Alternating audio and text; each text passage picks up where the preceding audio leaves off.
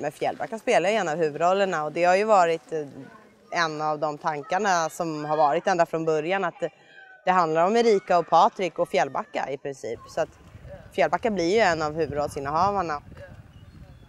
Eh, sen fördelen med Fjällbacka just framförallt när man letar inspelningsplatser och det är det är fint nästan överallt. Så det krävs ju mycket till att inte hitta någonting som är fint att filma. Det har varit lite sovande under en längre tid men tack vare Fjällbackamorden så har vi satts på kartan och när man pratar om Fjällbacka så vet faktiskt nästan alla vad, vad det är för någonting idag och var vi finns. Camilla Läckberg som är härifrån, hennes mamma bor fortfarande bara 100 meter härifrån. Hon eh, har ju sålt över 10 miljoner böcker nu. Och eh, det är klart att vi gynnas oerhört av eh, Läckberg-effekten då så att säga. Vi har turister ifrån Italien, Tyskland, Frankrike, Spanien. Över hela året i stort sett.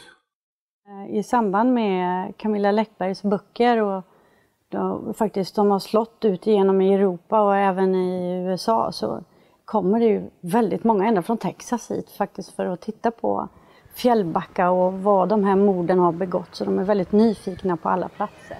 Varsågod! Det det är få platser i Sverige jag har varit på som är så vackra och det, det behöver jag liksom inte säga för att jag, jag får inte betalt för att säga det. Utan det är verkligen så. Det är otroligt vackert. En unik plats med alla fiskebodar. Det känns som att tiden, på ett sätt har tiden stått lite stilla och det är det som jag tycker gör det väldigt unikt. Ja, vi har ju varit med om en omgång tidigare gjorda filmer som SVT spelade in här. Bara eh, lanseringen och försäljningen av de här filmerna och böckerna och rättigheter har, har vi märkt en helt annan effekt av den här gången. Jag tror och hoppas att eh, Fjällbacka och Tanums kommun överlag kan nu få tillströmning av turister eh, på grund av de här filmerna. Precis som det har varit till exempel i Ystad tack vare Wallander.